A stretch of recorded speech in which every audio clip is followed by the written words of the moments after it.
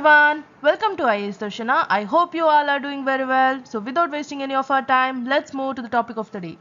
Today's topic is blue flag beaches. Blue flag beaches are certified by the Foundation for Environmental Education indicating they meet high standards for water quality, safety, environmental education and management. The certification is based on four main categories environmental education, environmental information, water quality and environmental management. India has 12 blue flag beaches and Ecolabel awarded to the cleanest beaches in the world. The mission of Blue Flag is to promote sustainability in the tourism sector through environmental education, environmental protection and, and other sustainable development practices.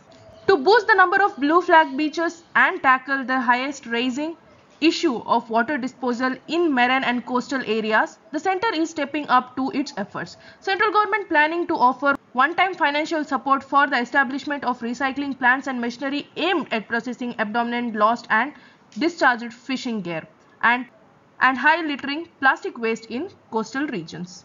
Government will provide the maximum financial aid of 38 lakh rupees per proposal for capital expenditure on standard recycling plants and machinery. However, for setting up recycling plants, nylon fishing gear and nets, the aid can go up to 48 lakh per proposal. The center contribution will cover 40 percentage of the total capital cost of these projects with the remaining 60% to be borne by the proponent.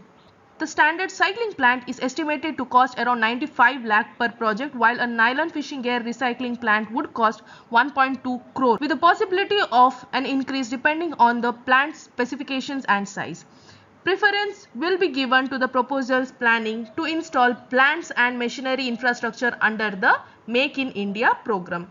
The initiative follows the stagnation in the number of blue flag beaches since October 2022 and the growing issue of marine litter along India's coastlines.